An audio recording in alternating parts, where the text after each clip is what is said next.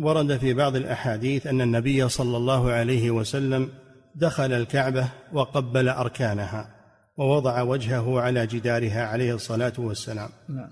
فهل يدل هذا على أنه تبرك بالكعبة أو مجرد تقبيل فقط؟ أي نعم. تبرك بالكعبة. الكعبة مباركة. إن أول بيت وضع للناس للذي ببكة مباركا وهدى للعالمين. نعم.